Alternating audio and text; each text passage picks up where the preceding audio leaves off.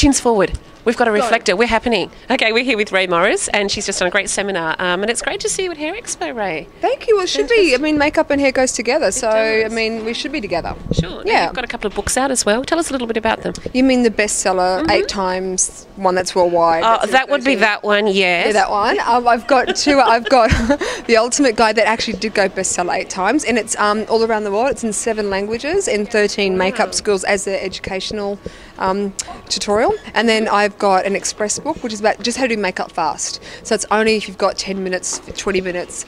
Um, my third one is uh, I've done a like an, it's called Timeless Makeup. It's sort of I'm 35 plus. It comes out next year. Oh, fantastic. We'll look forward to that. So give us a couple of pro tips on how we can all look fabulous. Okay, always match your foundation to your body colour, not your jawline.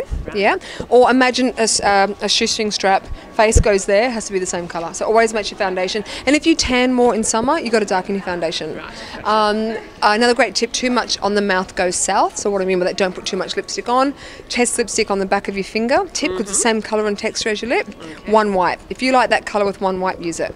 I love the um, advice you just gave to the lady about puffiness in the face. Tell us about that well, one. This is a really weird one. I saw this at actually Miss Universe pageants. Puffiness can be normally dehydration. So what I've seen doctors do um, is on shoots, if there's been medical people around or nurses around, they actually get them to drink as much distilled water as possible. Distilled is the same pH as your blood, so it infuses quickly. Like balanced water, I know that's the same as your blood. And then literally they push the model's heads in between their legs, which brings blood to the face, and the blood is what flushes the puffiness away. But it's a lot of water at room temperature, distilled. Okay. Yeah. All right. So we've got our chin forward, and now we're going to put our head between our legs, guys.